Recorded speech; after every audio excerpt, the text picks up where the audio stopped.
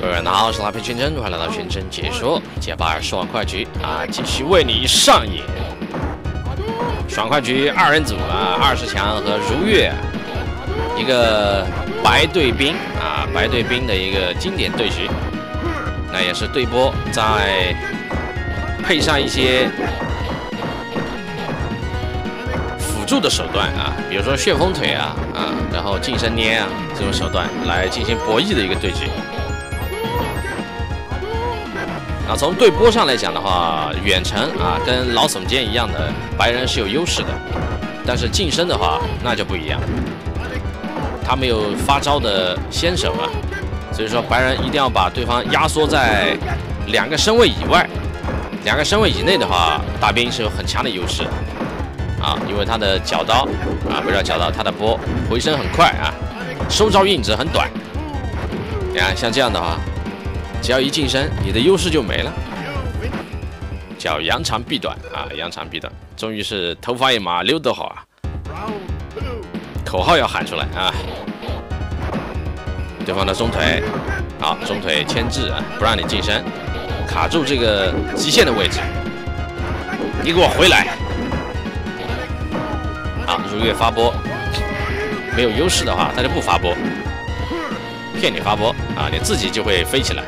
哦，这个软摇，一二三，打晕，一二三四，哎，这么浮夸的吗，兄弟？太浮夸了，对吧？好，看一下双方第二局，起手旋风腿，此人来者不善啊！啊，这么飘，上来就这么飘。啊必定是有过人之处，哇，真的是有过人之处，啊，这是使出了浑身解数啊！来，蟹黄都打出来，等，小韩一波漂亮，好，两波。用远波来压制，但是对于大兵来说，他也不怕，反正有硬之差啊，对波的话，他回身很快，对完波可以前走过来压你的空间。所以远程发波，你毕竟摸不到他，他也不怕。我前走，你这个走神，这个走神有意思。好，刮，再次旋风腿啊！这是非主流对战，这是非主流的战术。连续刮，没有起身，没有起身的话就要被完全压制啊！好，对方跳波就完了，你只要近身，他中腿。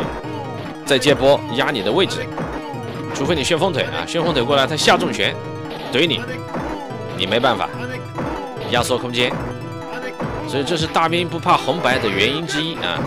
这个中腿配波，虽然说白人有穿波的旋风腿，但是呢啊也要掌握时机，时机不对的话也没有什么用处。这把可以。看一下第三局啊，不错啊，不错。起手旋风腿，非主流旋风腿，说来就来。高抬腿，轻落足。好，起身啊，再来一个玩。哦，漂亮。啊，直接捏晕了，还要玩点花活啊，不然过不去心里这道坎儿。可以。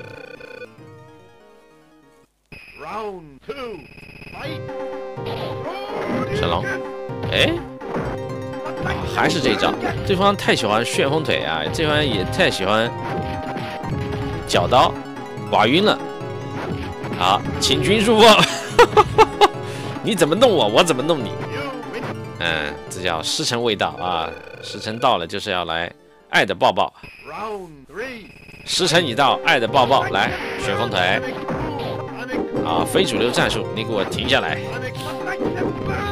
哎，赚到了，要鸟，好，捏在旁边，啊，还没落稳啊，还没落稳，直接一个拥抱，下腰，你看中腿动不了，中腿配波，起身，再来，好，跳波，你没办法，你接触不到他，你总要是要进攻的，呜。好，继续来啊，非常有意思啊，这个对局。很有意思。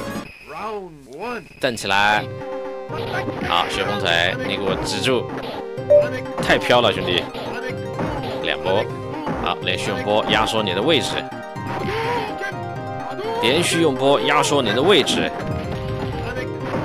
进半边，进了半边有点难受了啊，有点难受了。啊，刮，下盘，捏过来。哦，漂亮，死，还要来，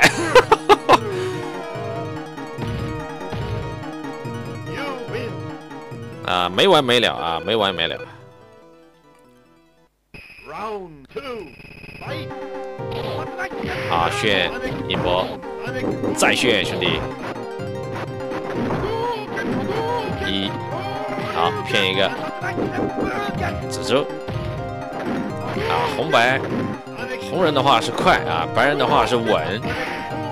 那拨开，呜，前走升龙，太帅了这一下，呜，这把稳了，相当的酷炫啊，这把白人，相当的酷炫。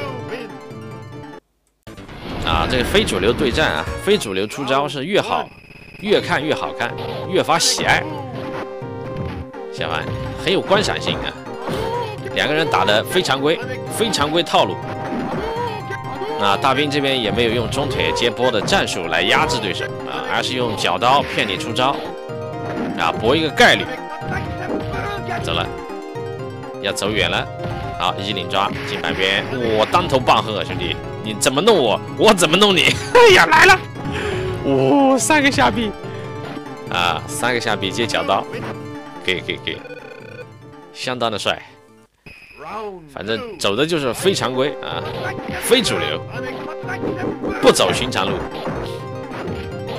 啊，中腿还是要要的啊。可以，然后起身一波两波，再来起跳，前进，没有用中腿，没用中腿不科学，打一插合啊，赖以生存的中腿，起身又是一个升龙。再升龙搏概率，这边也是想的很到位，跟做头是一样的啊。可惜对方一个正手抽刀，眼睛睁开，眼睛睁开，哇，最后一下啊！今天大饱眼福啊，非常的帅。好的，大家喜欢全解说，记得点关注，感谢收看，下期再会。